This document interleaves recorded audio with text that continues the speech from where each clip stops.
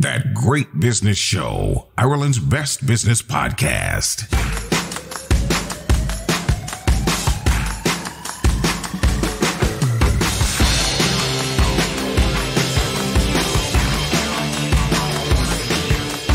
Welcome to episode 151 of That Great Business Show, where we bring you loads of great tips, insights, and unique business opportunities on every episode, all perfectly packaged into a commute friendly podcast.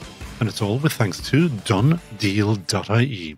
I'm Conal Moran, Fortistiach, a slightly different podcast this time BNP Paribas Bank is Europe's largest bank and it's celebrating 50 years in Ireland. Irish people love learning what others think of us, so we want an outsider's view on what's going on economically in Ireland and whether some of those post Brexit milk and honey promises of massive financial services transfers from the UK to Ireland have been delivered and this being the Great Business Show, we'll have plenty more besides. That's coming up. But first, a hugely positive reaction to episode 150 when we had the Bordiesky Vara boss, that's Caroline Bockel, as well as Anna Marie Turley from Enterprise Ireland on, who between them told us about a combined 1.5 billion, yep, billion pot of money available to all kinds of businesses. So if you're uh, looking for money for your business, no matter what size, it's a must listen episode. That's episode 150, sitting on a platform, podcast platform, ready for you right now. All our tips and insights are brought to you thanks to Done Deal Motors, the place to look for your new or previously loved car, van, or truck. DoneDeal.ie. DoneDeal Motors is home to Ireland's largest range of new and premium used cars. That's why you'll find cars from Audi and BMW dealerships on DoneDeal. Are you looking for a seven seater to accommodate your growing family? Maybe you're after a luxury saloon to make a statement. We have the car for you. You'll also find Ireland's largest range of electric cars to help you make the switch. Visit donedeal.ie today to start the search for your next car. De facto, the revolutionary shaving oil, changing the face of shaving. For the smoothest shave of your life, just add water. No more lathering up or cleaning up afterward. Just add a few drops of water and you're ready to go. De facto's blend of all natural oils hydrates and protects your skin. No more razor burns or irritation. A spa treatment for your face. Perfect for all skin types and lasts so much longer than traditional foams or gels. De facto, a shaving revolution. Just add water. Available from selected pharmacies and from defactoshave.com. It's all go, let Chrissy know on thatgreatbusinessshow.com. That great business show. Now, today's VIP guest is an old friend of mine. Well, an old friend in that Irish sense that I haven't seen for about a quarter of a century before he walked into the studio just 10 minutes ago. I worked with Derek Kehoe when we were stockbroking with Riada ABN AMRO back in the day. And since then, Derek has gone on to much greater things, spending the last 21 years with BNP Paribas, Europe's largest bank. And for the last eight years, Derek has been CEO and country manager for Ireland at BNP Paribas a company that is now celebrating 50 years in this country. And he wants to talk about the 50th birthday party, but I'd like to get his perspective and the perspective of HQ in Paris, France, about Ireland's economy and what kind of weirdos they may think we are. We are the business podcast after all. Derek Kehoe, welcome to that great business show. Well, thank you very much, and it's great to see you. You haven't changed a bit, I have to say. It's a long time. It really, really is a very long time. You are in charge of 550 employees here out of 185,000 people working for the bank worldwide. Do they even know that Dublin exists? Absolutely, uh, very much so. Uh, we, we are a key part of the of the franchise. I mean, within BNP Paribas, they divide themselves into three separate poles of business. So you obviously have the largely retail banking activities, which we don't do in Ireland, corporate and institutional banking, which is our main footprint in Ireland, and then roughly speaking, everything else, which would be insurance, asset management, and so on. So, as, as part of the corporate and institutional bank, we play a very, very important role uh, within EMEA for BNP Paribas. and they know Ireland. You know Ireland exceptionally well. Why haven't they got a, an ordinary retail bank uh, operating here yet? Please note, yet. Yeah. Smile on his face. Well, I I mean, there, there's no easy answer to that question, Colin. But I'll give you the, the two the two basic reasons. One, it's a very very small market. Two, uh, I am not aware of a single instance of a non-Irish bank coming into the Irish retail market and ever making any money.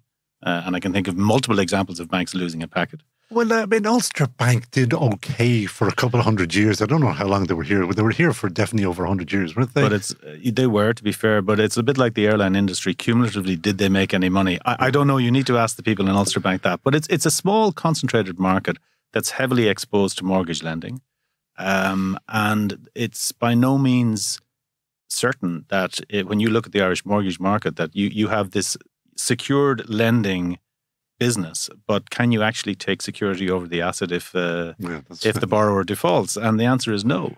Uh, you know, it, it, we must be one of the only countries in the world where you can you can buy a house for two million euro, stop paying your mortgage after three months, and still be living in the house fifteen years later. So spoken that's like a that's, true banker. that's why I don't really want to do it. Well, I couldn't go into a Ferrari dealership, Yeah. buy a Ferrari, stop paying the payments after two months, and uh, and keep possession of the car for the three years. So there's there's a dichotomy there, you know. No, I have uh, heard, heard and people, other people saying exactly the same, and it is true. Of course, it's true. So, explain what, exactly what BNP Paribas does do in Ireland. Sure.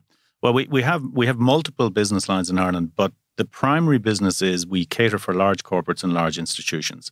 So we, as I said, we don't we don't cater for SMEs. We don't cater uh, within the retail market.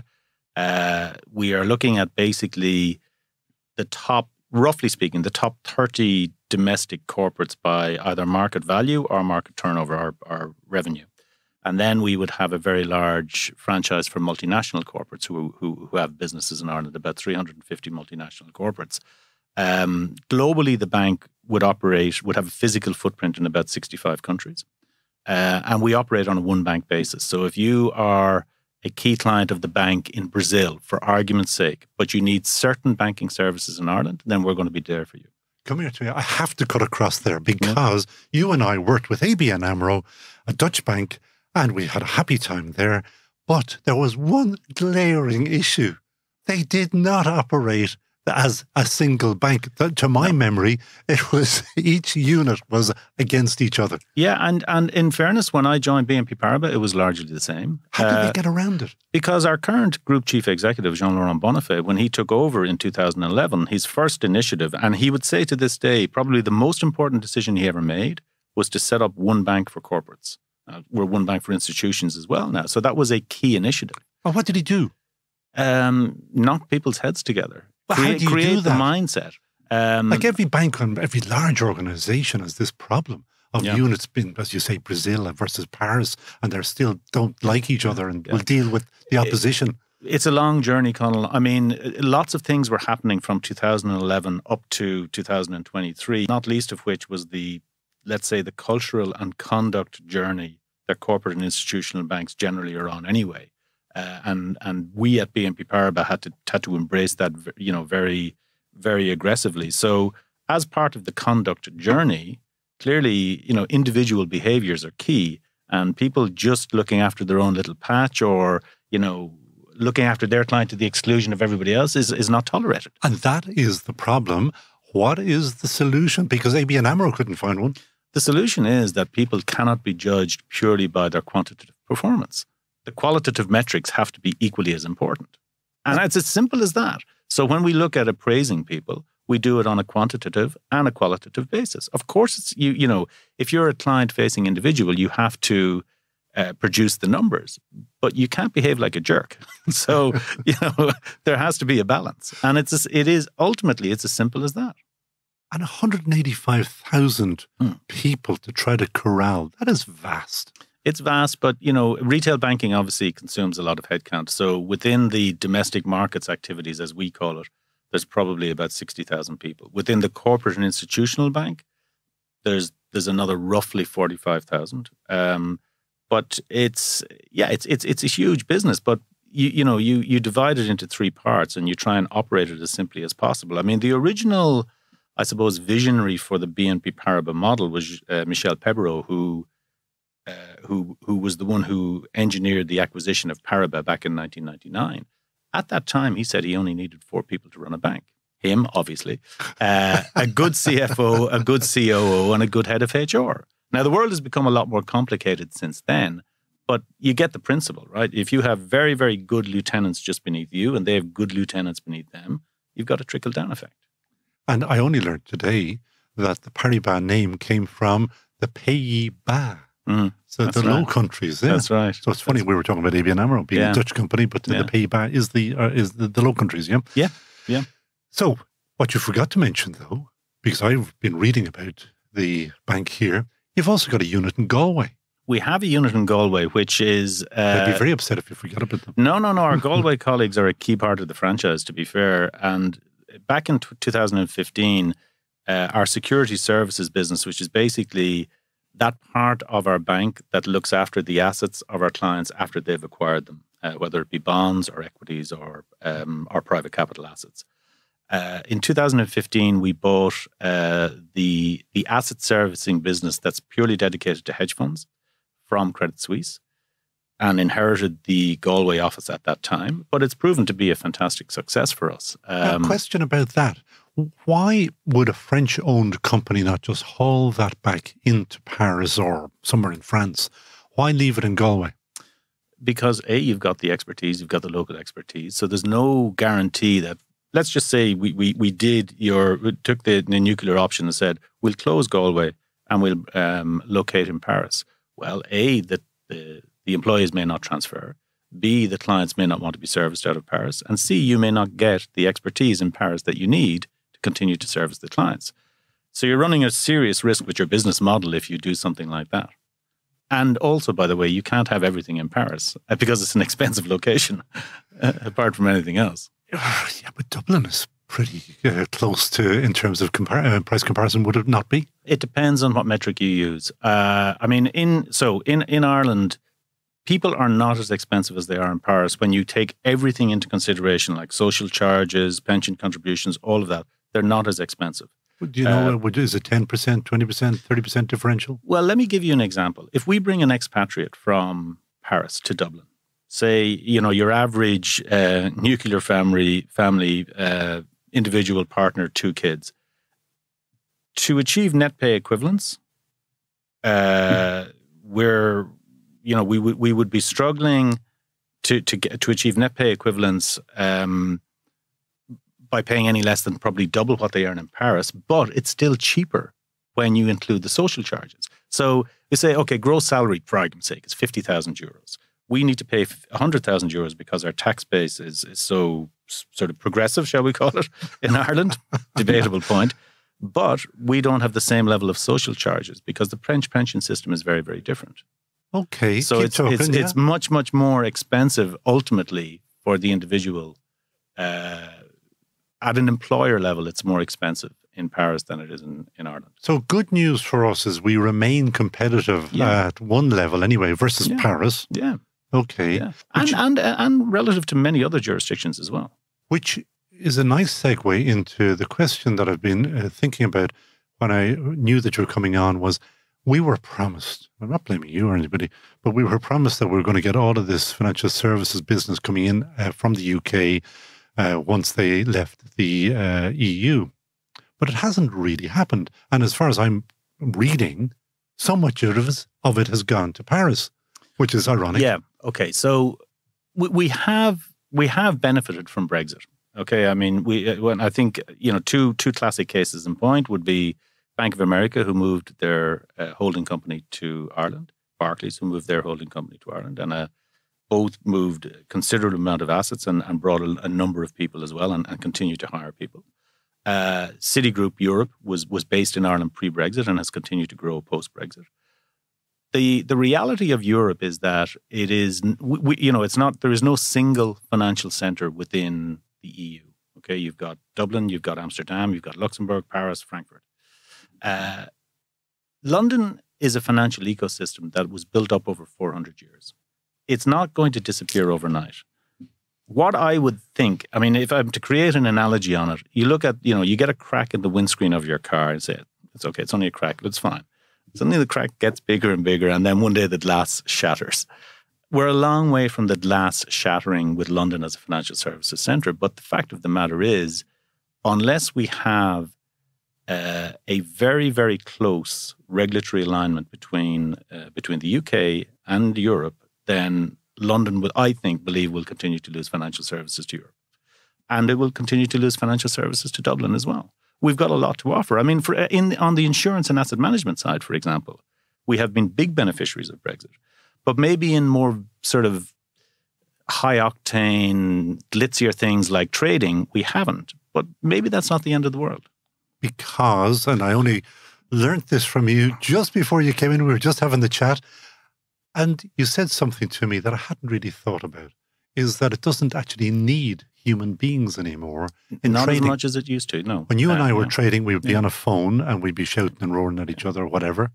But no it's more. all becoming automated. Uh, and you know, you will you will remember, Colonel, back in our back in our day, that quarter century ago, everything was an open outcry system, whether it be on the stock exchange or within the futures markets. All of that is gone. And you know, when I when I walk onto the trading floor in London now, you're greeted by more or less total silence. Banks and banks of computer screens and guys studying them, but there's really not that open outcry system that we were used to. So it's not about noise; it's about it's about algos algos being algorithms, and the people looking at those screens are maths graduates. Absolutely, maths, maths, and uh, and computer science. Yeah, so good good programmers are always always in demand on trading floors. But uh, so wasters like you and I, no chance anymore. No, I, I, I, would respectfully disagree because I, and I've had this conversation with somebody else. I think that uh, it's fine to be able to to answer certain questions black or white. And, and, and a maths graduate or an engineering graduate are fantastic. They can see the world in black and white. But not every answer is a black and white answer. So I'm a big believer in the arts, and I think people need to be able to think in three dimensions. Um, and there sometimes there is not a black or white answer. And you are talking your own book because you are an arts graduate. Well, I'm a graduate of the dismal science, economics, economics yes. exactly, which came under arts back in the day, anyways. Yeah. So, what are the opportunities that you do see for Ireland that we could, should be chasing hugely, furiously at the moment? Mm-hmm. I mean, the the the the sustainable finance agenda is obviously on the on the tip of everybody's tongue. The the transition that's going to be required in Europe, but globally, but let's just talk about Europe for the moment, is going to be enormous. Uh, Ireland did a very good job over the last 30 years of becoming a centre of excellence for, for example, the funds industry, a centre of excellence in the insurance industry. So maybe the future is that we become the centre of excellence for sustainable finance. And that, that means that you create enough um, individual expertise in the subject that you, you develop a cluster effect and people place, I say people, organizations place business here because they know that they can get the bodies that they need to do that type of business. So sustainable financing is going to be huge. Uh, the whole transition is something that we collectively need to think very, very carefully about how it's going to be financed. It's not going to be financed just from banks' balance sheets because that's, you know, we're talking about trillions. It's just simply not feasible. So where will uh, that finance come from? Well, what it, what it comes from, it's going to come from insurance companies, pension funds. Um, what we need in Europe is an efficient capital markets union that will allow institutional investors like pension funds and asset managers and insurance companies to lend the money via intermediaries like BNP Paribas. Uh, to to the corporate borrowers that need to to finance their their projects. And what is the holdup there? Old fashioned borders? Yeah, I mean, you know, we have a single market, but we have 27 countries. So, yeah, uh, you know, there, there is a political dimension to it. I think at, um, at the level probably of the European Commission, there is a very strong um, advocacy for capital markets union, but at the political level, it's a little bit more difficult. I'll come back to how the world sees us and uh, matters probably uh, political in a second because I have to take a quick break. And uh, I'm with Derek Kehoe, who's Chief Executive Officer with uh, BNP Paribas here in Dublin. So we'll take a quick break and we'll be back after this. DoneDeal Motors is home to Ireland's largest range of new and premium used cars. That's why you'll find cars from Audi and BMW dealerships on DoneDeal. Are you looking for a seven seater to accommodate your growing family? Maybe you're after a luxury saloon to make a statement. We have the car for you. You'll also find Ireland's largest range of electric cars to help you make the switch. Visit donedeal.ie today to start the search for your next car. All that great business show advertisers are Team GBS approved. Back them. And I'm here with Derek Kehoe, CEO of BNP Paribas in Dublin here. And uh, we're just there talking about, Derek, the broader political issues, as in 27 countries, uh, single EU. But I often wonder, from your perspective, because you really do have an outsider's view, what are they thinking about us? Do they still feel, because I've read it, that they we're still scamming the tax system, or are we do, are we kind of outliers or cowboys in the European system, according to the people that you might meet? So the short answer is yes. Which one? the, the, the cowboy, to, to, the outliers? well, to the to the you know, are we are we scamming the the corporate tax, the global corporate tax uh, system? The short answer is yes. The long answer is yes, but it's changing. And I think Ireland signing up to the OECD principles, where we will commit to a minimum effective tax rate of fifteen percent, is a very very positive thing. Had no choice. I know we had no choice, but it's still the right thing to do. I mean, um, you know, it, it, one could argue that it's too long in coming. I mean, I, you know, the economist in me says we subsidize capital too much in this country and we tax labor too much. Uh, I mean, that's I'm saying that as a as an individual taxpayer, but also uh, as somebody who's responsible for a corporation that's been in Ireland since 1973. So we didn't come here for the tax rates. We ignore the fantastic selling points we have as a country highly educated workforce. Probably that I think outside of Lithuania, we have the highest percentage of under 35s with a university education.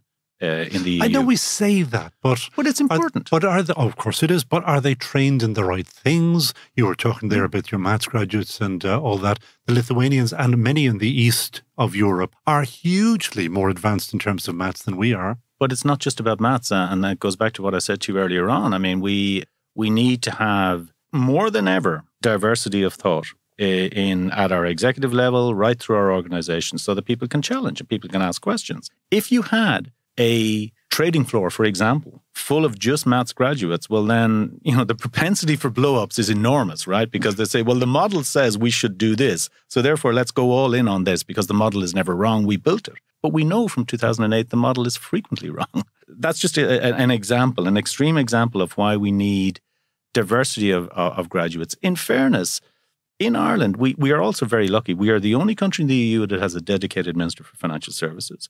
We're the only country in the EU that has a financial services three year, five year rolling strategy. Uh, I, I sat on the industry advisory group for a number of years. It does get things done.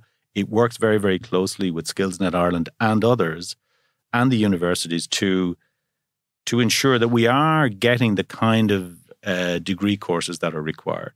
So I, I, I, mean, I'd be highly confident that we are we are very very cohesive in that regard, and it's the beauty of being a small country as well, by the way. And that is the level of education or the standard of education now. You mentioned other benefits or other attractions of Ireland.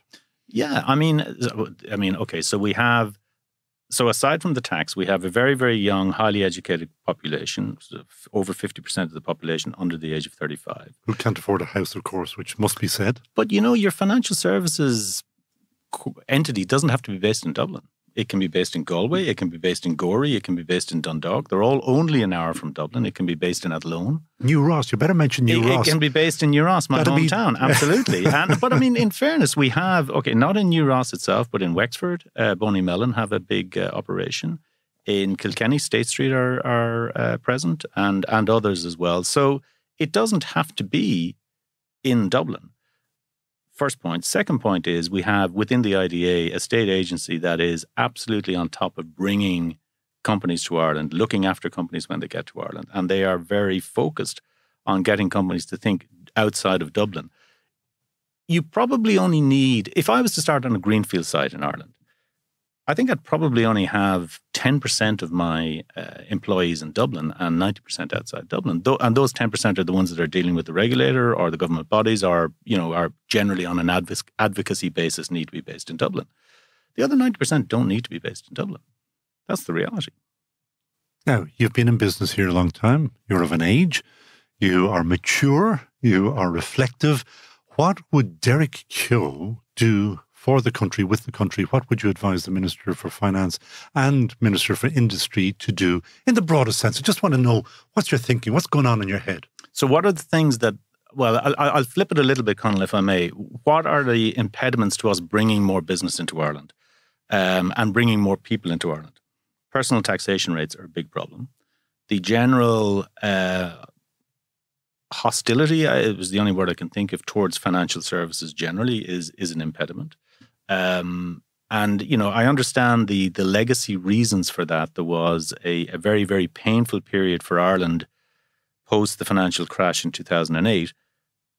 However, we should not set aside the fact that international financial services, which is very different, to be fair, to domestic banking, um, in wages alone contributed almost a billion euros to the Irish economy last year, contributed over 2.5 billion in corporate tax revenue. It's a very, very important part of uh, uh, you know, of the tax take in Ireland, um, and and contributes greatly to the Irish economy. Um, but there is there is generally a perception abroad that that there's still quite a significant hostility within the media and within body politic towards financial services in its broadest possible sense. That that's not helpful. And we don't play up the fact, for example, that we have an excellent Minister for Financial Services who's completely motivated to growing financial services in Ireland. We have a regulator who is I would say tough but fair. Um, and we should not harp on too much about the fact that they're tough and harp on more about the fact that they're fair. Okay, you know, I mean, I so have my, my heard point, some people in a senior level, like yourself in financial services, who find the regulator to be pedantic almost in terms of putting people off and putting too many boxes to tick it's it's not well a it's not our experience firstly. Secondly having a first class regulator and a first class financial services center are not mutually exclusive things. In actual fact they should complement each other okay? So you know it is very very important to counter you know the, the phrase you used a little bit earlier about sort of the wild west.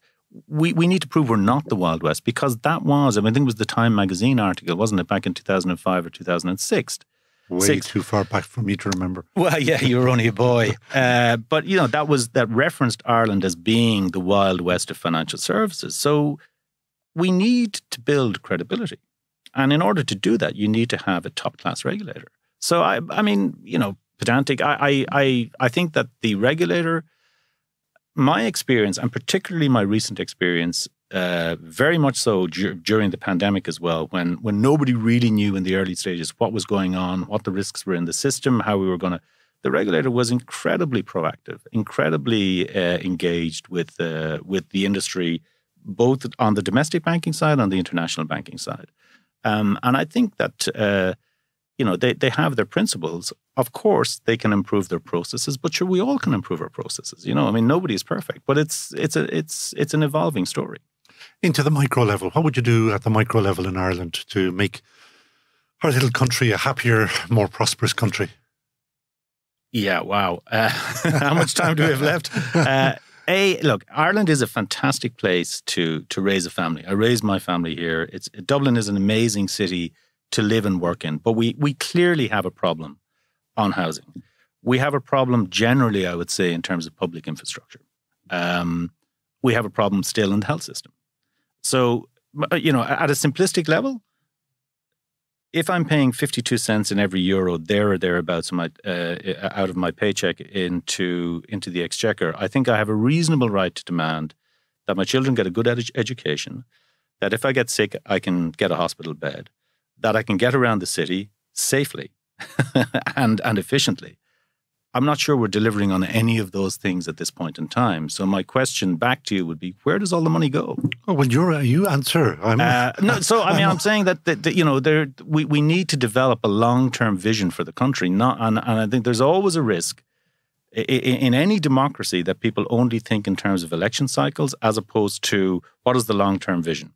And our we need a long term vision for Ireland because we're we're in many respects bursting at the seams. But we, we you know, in order to continue to grow, uh, we need to start investing. And I hear all of these, you know, sovereign wealth funds, and uh, you know, we're going to have two sovereign wealth funds, I think, by the end of the year. And but we need of- capital investment. And the use of those two funds, it's being used for weird stuff.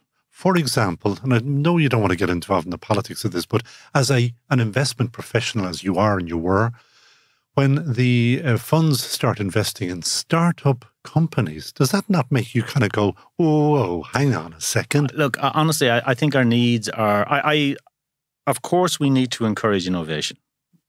I have no problem with that. And like any good investor, yourself included, Colin, you're going to you're going to apportion a portion of your portfolio to startups. I don't know what mm. portion they're talking about, but I hope it's relatively small. Teeny, I hope." But Yeah. the fact that it's meant to be a pension fund, a state pension fund, if you like, Yeah.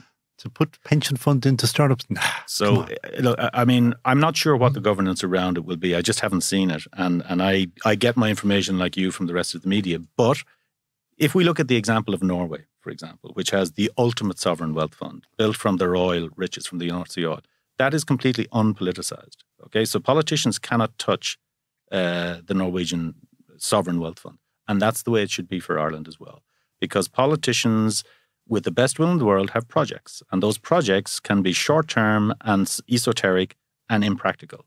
So we need to ensure that is the politics of, of our sovereign wealth fund is completely divorced from the investment management. You mentioned that we are bursting at the seams, and one of the issues that we do have, albeit that there have been a few uh, blips in the last short while, hiring people. How are you finding hiring good people? Actually, not so much of a problem. We had a problem last year. So, you know, we went through the pandemic where staff turnover was less than 2%. I mean, it was nothing. Nobody was going anywhere. That was understandable. They couldn't. We were locked they couldn't. down. No, but it, you know, there was just no there was no movement whatsoever. Uh, then, when we emerged from the pandemic, beginning of 2022, we saw staff turnover beginning to rise. So the great resignation that everybody spoke about. Some people were restless; they wanted to move. There was lots of reasons. It probably spiked in Q2 2022 when we had about 15% turnover. But Whoa. it, yeah, yeah, it That's a lot. yeah, I- I- so, so I, I'm comfortable with ten percent. Over fifteen percent, I start to get a little bit uh, look, looking for for trends. But you know, we've seen. I mean, for example, a number of the tech companies have have gone into reverse in terms of hiring in in Ireland. We saw the news from Accenture yesterday.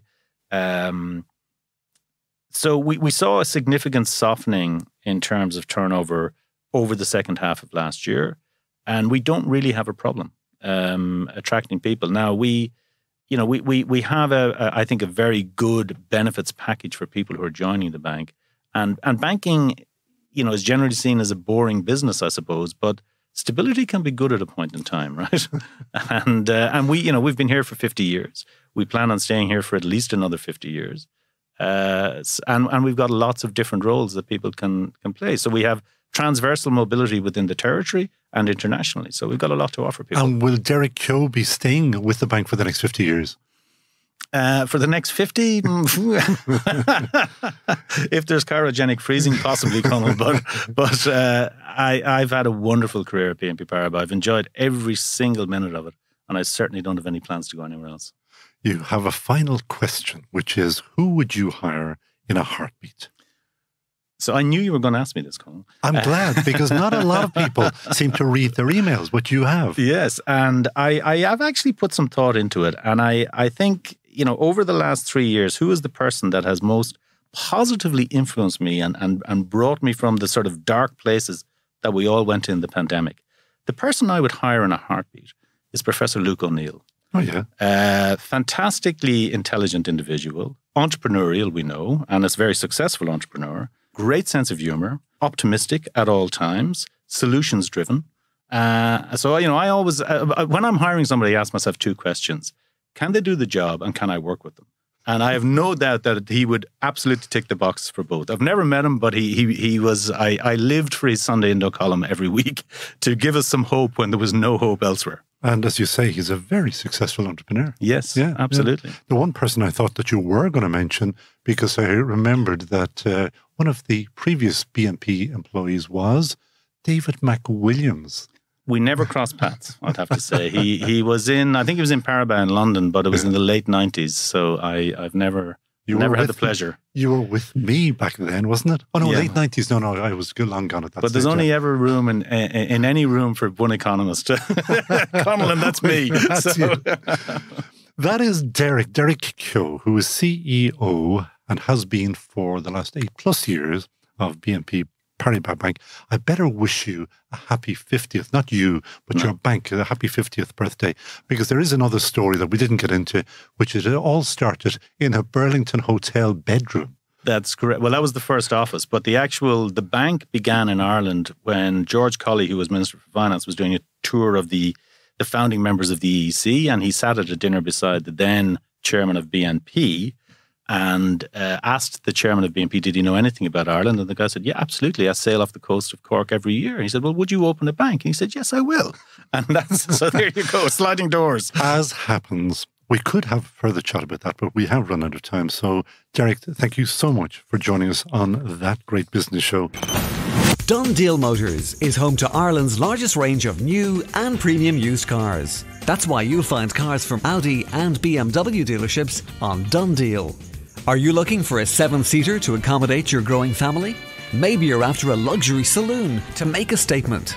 We have the car for you. You'll also find Ireland's largest range of electric cars to help you make the switch. Visit donedeal.ie today to start the search for your next car. De facto, the revolutionary shaving oil, changing the face of shaving. For the smoothest shave of your life, just add water. No more lathering up or cleaning up afterward. Just add a few drops of water and you're ready to go. De facto's blend of all natural oils hydrates and protects your skin. No more razor burns or irritation. A spa treatment for your face. Perfect for all skin types and lasts so much longer than traditional foams or gels. De facto, a shaving revolution. Just add water. Available from selected pharmacies and from defactoshave.com. And that is it from That Great Business Show, episode 151. Great business insights and inspiration, all thanks to our sponsor, donedeal.ie. It's the only place to find your next car, new or secondhand. And do sign up for email updates and for your own personal copy of the podcast at thatgreatbusinessshow.com. And that's where to go if you would like to advertise with us. We record here at the Dublin South Podcast Studios, where Monsieur Lee Brennan is today's sound engineer, and our Grand Fromage studio manager Peter Rice uses his feathered duster later on to make us the world's best sounding business podcast. So from me, Conal O'Moran, buchas to you all, agus slán.